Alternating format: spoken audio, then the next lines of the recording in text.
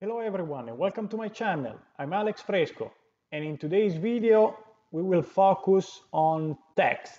So the text we have two different types. We are always here in the CAD-CAM environment, uh, main menu, so drawings and uh, here we can see the two different options we have for text. Let's start with the, with the linear one. So we click on it and here as we can see the reference for my text is the dot where the cursor is uh, right now.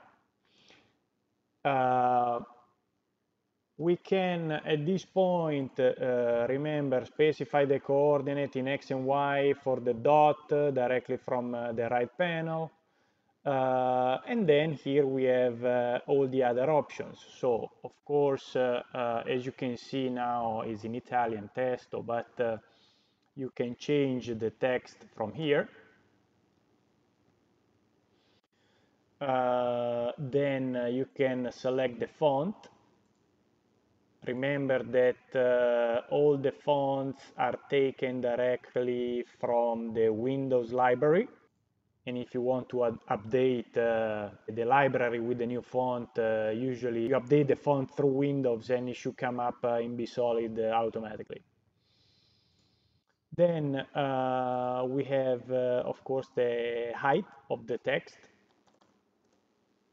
So you can decide how big it has to be. It has to be bold or italic and then the alignment for your text. So uh, keeping in consideration our reference, uh, which is the dot, uh, if the text has to go from left to right, or centered, or right to left. Then advanced parameters, what we have in the advanced parameters, we can change the direction of, your, of our text so we can have it, uh, instead of going left to right, you know, uh, top to bottom, or uh, vice versa, right to left, or bottom to top.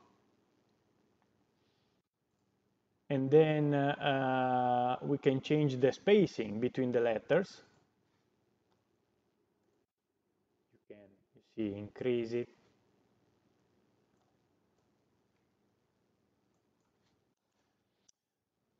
Then the interline. Interline is basically when you have uh, multiple lines here on your text. So, hello, uh, let's say today is Saturday. Uh, the interline what does uh, is basically the space between the lines. So you increase it or you decrease it, I mean, if you put it at zero, they basically touch each other. And this is uh, what interline does. Then accuracy, of course, is the accuracy to draw basically the, the letters.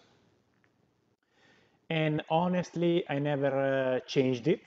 Usually it's fine, 0.1 is accurate enough. And uh, you can decide to stretch the text a little bit more. Of course, one goes back to the normal, and if you go in the other direction, so something less than one is gonna squeeze it.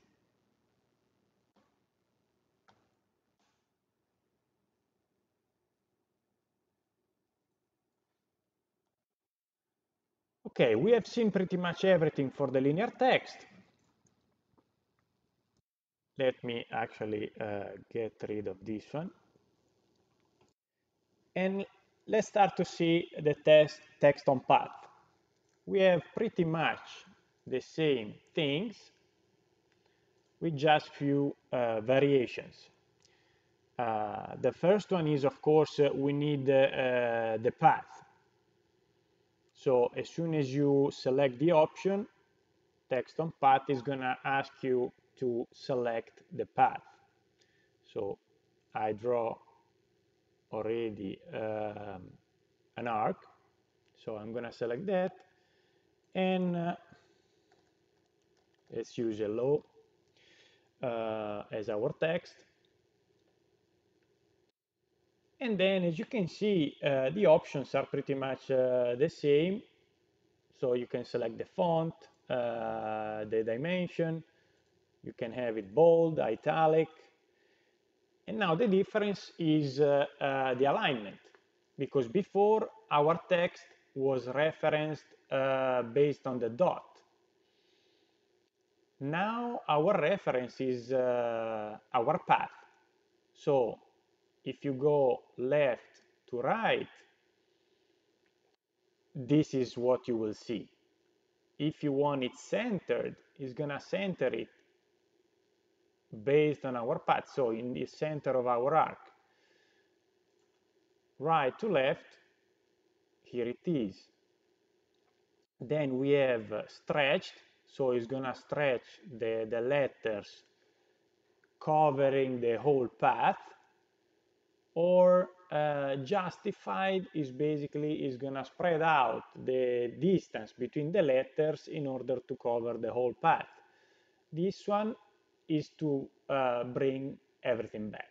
So, like it was originally. Then uh, advanced parameters, also here, uh, we don't have any more uh, left, right, and so on. We only have direction, which is uh, basically uh, above or below our path.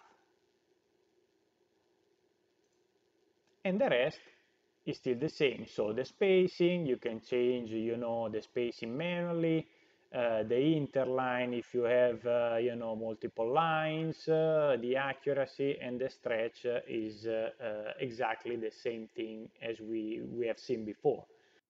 Okay, one more thing to say is uh, that uh, once uh, you confirmed, uh, you have confirmed your text on path, uh, let's say you need to change the path for some reason, double click on it. And as you can see, the text will be automatically adapted and follow the new path.